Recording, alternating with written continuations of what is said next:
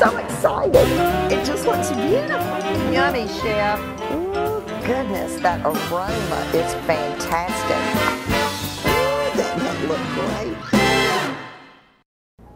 Everybody, I'm Vera Stewart and welcome to the Very Vera Show. You know, I don't know about you, but I love to go back and watch some of my favorite old movies. And just a couple of weeks ago, I thought Steel Magnolias. I haven't watched that in a long time. You remember it, Julia Roberts, um, Dolly Parton, it was so great. Don't you love those hairdos that they had in the 80s? Well, honestly, I rocked a pretty cool hairdo myself back in the 80s, but we're gonna make food today that were just some of the best things that we eat in the South this time time of year. So we're going to start with the best baked bean recipe you ever tasted. It is fabulous. Then we're going to do a pulled pork sandwich and just the rub that goes on this pulled pork is going to be your all-time favorite. And then finally, it wouldn't be steel magnolias without armadillo cake. I'm going to show you how to make it into a cupcake. The kids will love it. So we've got a lot to do. Let's get started with that baked bean recipe.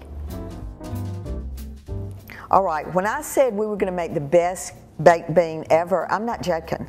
This recipe is so awesome. In fact, I'm already thinking of all the things that I can do to change it the next time I make it. But it uses four different beans, so it's just really unusual. So what we did to kind of get started um, was I took my cold Lodge skillet. And when you cook bacon, you're supposed to start in a cold pan. So I've gotten used to that. And even when I'm going to chop it up into little pieces, I still start in a cold pan. Just makes it cook more evenly and it doesn't all start shrinking up. All right, so then once that's done, you want to leave about half of those bacon drippings in the pan. You don't need all of them anymore to saute your onions. So these are Vidalia onions. I've just chopped them. You want to cook those until they're translucent. A little bit of golden brown makes those really great. So now you're going to add your garlic. And the reason you don't add that at the beginning is that garlic will burn. And to get the onions translucent, if you leave that garlic in there too long, then you've left it, that garlic, burned garlic taste in your mouth, and you don't want that. All right, the next ingredient is red bell pepper. And you know, I will tell you, if this recipe had called for green, I would have changed it to red. I'm just not a big fan of green bell pepper, but I love the flavor of the red. And not only that, it's just so colorful, it kind of retains its color when it cooks. So this is gonna cook down for just a few minutes. And again, this is gonna be in the oven for quite a while, so all of the vegetables will continue to cook. All right, so I've put my bacon that's cooked in a big bowl because all of these ingredients are going in this recipe. It's just scrumptious. All right, so I've got my bacon. I'm gonna now go add what we did here in this pan. And you know, I know I'm strong, but I could tell you right now, picking up this large skillet, that's why these pans are so awesome because they're so heavy. They're just great and you never have to worry about anything sticking if you use it long enough. All right, so now we're gonna add in our four beans. So we've got pinto beans, and these are canned butter beans. But I wonder what fresh butter beans would be like. I'm gonna be doing that again soon and let you know. All right, these are Bush's baked beans. And you know, honestly, their ad is right. When they say they're the best, they're the best and then kidney beans. All right, and I've got my 9 by 13 pan already sprayed and ready to go with my aluminum foil. So now this is all the goody that makes this so amazing. I've got my ketchup. And if you've never had baked beans, this is definitely a recipe you need to try. All right, I've got Tabasco sauce, or any hot sauce is good there. Molasses. Man, I'm telling you, the, the, the different flavors in this recipe will have you the talk of the family reunion or the covered dish dinner, wherever you're going with this baked bean, because it's so different. And then we've got some yellow mustard and some Worcestershire sauce.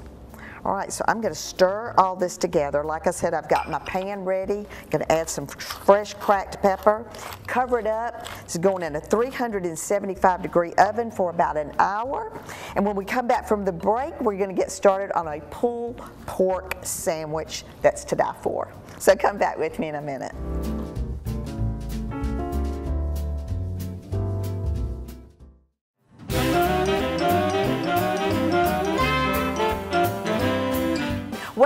Back, everybody. And if you're just joining me, we're doing food today from one of my favorite movies from the 80s, Steel Magnolias. You know, those were some powerful women that got a lot of things done. And you know, magnolias are what we're kind of noted for, especially in the Augusta, Georgia area. It's just the most fragrant flower. It's a beautiful tree, and we're very, very proud of that tree here in our area. But we are doing things today that have to do with all these southern foods that are so wonderful. And it's certainly not a picnic if you don't have a pulled pork sandwich. And you know, lots of times you guys really love to get on the grill, cook those Boston butts and shoulder roast, maybe rub it with your favorite rub. But you know, if you're not really good on the grill, this recipe can be just the ticket because you do everything in a Dutch oven. You don't have to use the grill. You don't have to go outside where it's hot. So this could be really a great way to start. So what I did was I got a shoulder roast, pork shoulder roast. And I went ahead and trimmed some of the fat. You want some fat there, but I'm trimming a little bit of that off. And then I cut it into chunks because it's not going to take as long to cook if you've separated the meat into smaller pieces. And then I did amazing rub to go on it. So I hope you'll absolutely try this. So the rub is made up of brown sugar, kosher salt, some smoked paprika, garlic powder, cumin, and then I put some fresh cracked pepper in it. And I did all of that in a bowl, mixed it up. And you know, rubs, you think immediately you're just gonna rub everything on top of the meat. But since you're in a bowl and you've got small pieces, you can really coat it well by just rolling it over and over again in the bowl. And then I had a little bit left over and you know, I like to waste anything, so I just sprinkled the excess on the top of it. In the meantime, I've got my oil heated in my Dutch oven, and all you wanna do is sear all the sides of the meat. So just look how wonderfully brown and good. And you don't want to do it too long because again, those seasonings with the brown sugar and the smoked paprika will burn quickly if you let it stay there too long. Then the last ingredient, which you're going to want to have a sip or two before you put it in there, is Yuengling beer from Pennsylvania. And actually our executive producer, Corey, said, that's my favorite beer, let's put that in there. So this really makes this recipe. So you just pour it over the seared pieces of the pork, put the lid on it. It's gonna go in a 300 degree oven for about three hours. All right, so we just need to test and make sure that it's tender and it's gonna break apart and it's absolutely perfect.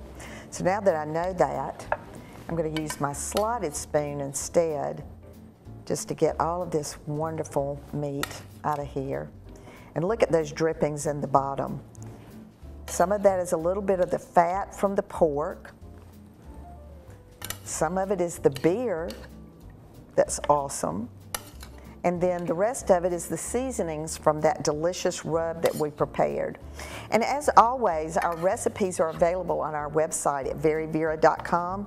And you know, we've got now eight seasons worth of recipes on our website. So kind of think about us when you're looking for a new recipe.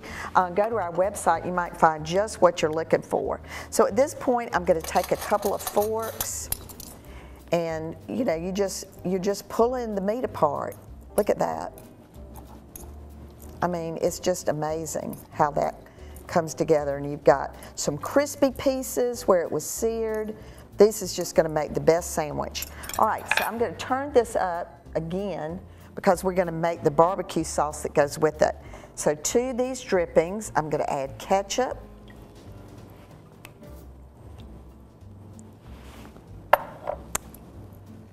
We've got vinegar, cider vinegar.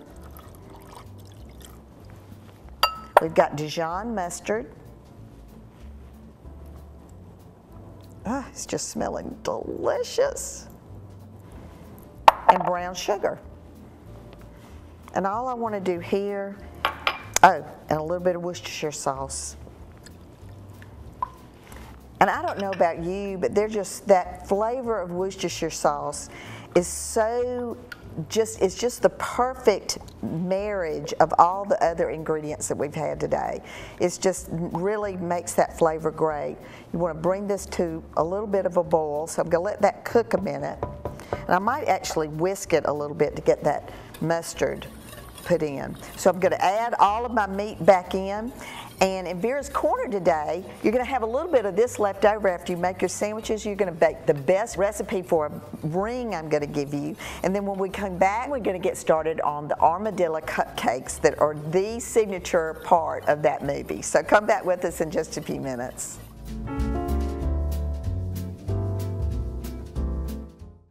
Vera's Corner is sponsored by TaxSlayer. It's your refund. Go get it.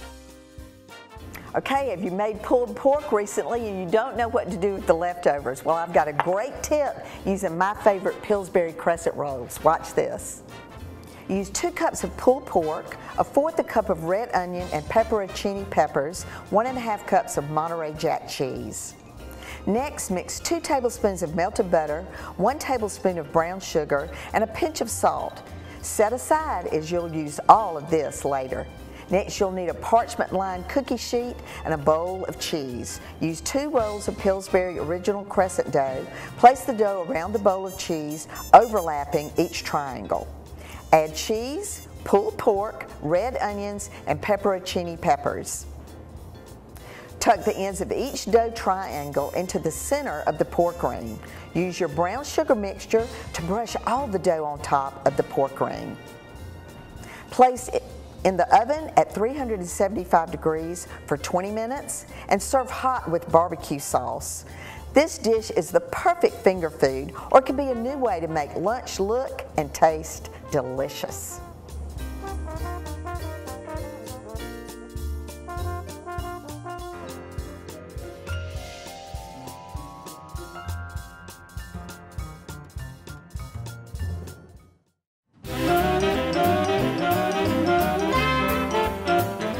Welcome back, everybody. And didn't you love that idea in Vera's Corner today with the port ring with the leftovers? I know y'all are going to try that. And I really want to give a shout out to Lily Spruill. She was our intern this summer from Winthrop University. And she put that together. I thought she did a fantastic job. All right, so in keeping with the Steel Magnolias theme, I know you will never forget that gruesome, awesome, awful scenario with the groom's cake that was a bleeding armadillo. I mean, honestly, you would have thought that everybody would lose their appetite for it. It became so popular, everybody was using that for rehearsal dinner cakes. And, you know, years ago I was in the catering business and people wanted me to do that all the time. So my good friend Virginia Willis actually came up with a rendition of this with a cupcake. So today I'm going to use her decorating ideas, but I'm going to make my recipe for red velvet and my cream cheese icing in Tennant Gray to kind of reminisce the armadillo. So let's get started started with putting that cake together. So this is my red velvet cake. And it starts, of course, with the fact that we're going to preheat our oven to 325. I'm going to line my cupcake pans with the little liners, get those done ahead. And then I'm going to beat the oil, the granulated sugar, and red food coloring and it uses quite a bit because by the time everything else gets in there you start losing that crimson red color. So don't think that's a misprint that's correct. And then you're to let that mix together for about five minutes. All right I'm going to scrape the sides of the bowl once I've gotten to that five minute part. And then I've got my eggs already cracked in a measuring cup. And I really recommend that when you're doing any sort of baking with eggs go ahead and crack all the eggs put them in a liquid measuring measuring cup. They just pour out one yolk at a time. It's perfect. So add those slowly and then combine all of your dry ingredients in another separate bowl. And these dry ingredients are sugar, cake flour, Hershey's cocoa powder, baking soda, and salt. And then we're going to combine all of our liquid ingredients, and those are buttermilk, vanilla, and vinegar. So then the process of mixing all of this together is alternating your dry and your wet ingredients. You start with dry, you end with dry. So it's just alternating the two. And I really, when I use dry ingredients in that sort of a capacity, I love to just take maybe your one third cup measuring cup and let that be your scoop to do that so it goes really well. And then I went ahead and just took my mixing bowl because I used my KitchenAid bowl today that's the glass that's actually a big measuring cup. It was so easy to take that off, scrape the sides, mix everything together, and then I literally just poured it straight into the muffin cups. So it was two thirds full, got two pans done, had a little bit left over, so I just did a sheet cake in a Pyrex dish. Got those in my convection oven, and those are going to bake for about 20 minutes, 25 depending on your oven. Just want to make sure they're good and done in the middle. So then once those come out, you're going to let those cool for a few minutes, but we're going to make the cream cheese icing that's actually also in my cookbook. So that's creaming your butter, your cream cheese and you're going to let that beat really well for about three minutes. Get it nice and fluffy and combined.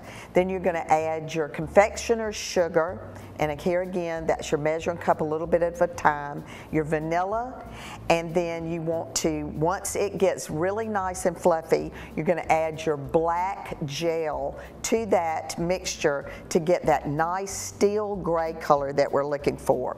All right, so we've gone ahead and iced a few of these, and let me just quickly show you. I, this was the spatula we used in all of my mail order days, making these layer cakes that we shipped all over the country. And so you're just going to a nice coating of your icing on the top but you want to get those done and in the either the freezer for a few minutes or the refrigerator because part of what you're doing here is you want the icing to be hard so that you can make the little indentions with a straw to look like the scales on the back of the armadillo. And believe it or not, you know, I was bragging about we have magnolias in our area and how beautiful they are. Well, we also have armadillos, and uh, you do not want to see one of those walking in your yard, which I've done many times. So once you've gotten all your scales done, we're actually making this the behind of an armadillo. So real quick, this is a Tootsie Roll that I have softened in the microwave for about 10 seconds. I've rolled it in my hand and gotten it flat. You want one end to be thin, a little bit uh, larger at the top. Use a toothpick to make your indentions, and then I'm just gonna poke that down in the cupcake, and there you have it. All right, so come back with us in just a few minutes and we're going to present all of this stuff truly in steel magnolia fashion.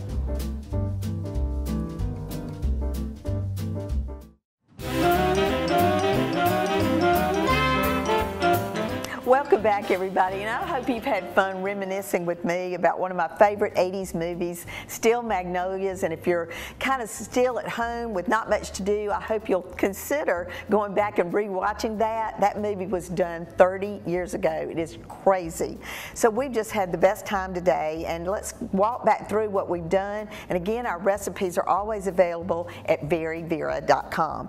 All right, so look at this baked bean. Oh my gosh. I mean, it just bakes up so beautifully. Just you can just see the all the different ingredients. Everything just works so well together, and it almost gets kind of crispy on the top. So that would be scrumptious for most anything that you're going to be doing um, over these early fall months. All right, so then we moved into the pulled pork sandwich, and here again, I hope I've given you an easy and simple tip on how to do something that maybe you traditionally do on the grill if for any reason it's raining outside and you're really hungry for something like that, you can do it in your Dutch oven, in the oven, the barbecue sauce with that. I put half of it in the meat and mixed it up, but then have the rest of it so that somebody can help themselves to more if they would like it.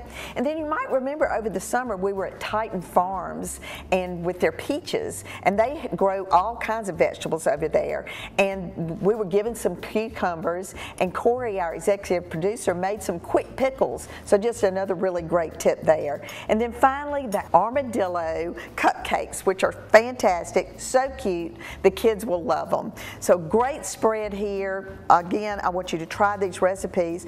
You know, so I just want to take a moment and just thank everybody for being part of the Very Vera Show. We're going into season nine, and it's just hard to believe that nine years ago we started as a little local cooking show here in Augusta, Georgia. And for us to have now moved into, I'm so excited to say, 30 markets going into season nine. So we've added 10 since last season, so I want to take a moment to recognize those areas. We're going to start with the state of Texas, and wow, we are really taking over over there. We're in Harlingen, we're in Austin, we're in Houston, Dallas, and Waco. So we're very excited to welcome the state of Texas. And then in Virginia, we're in Richmond and in Roanoke.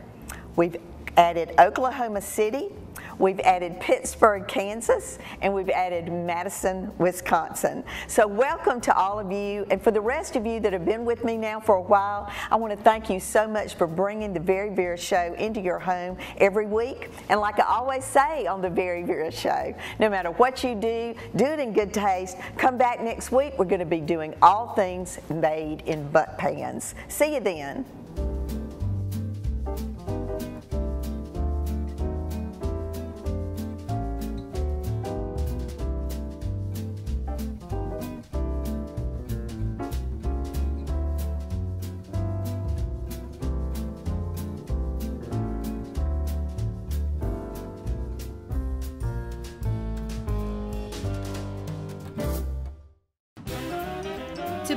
As a speaker for your next event, email info at veryvera.com.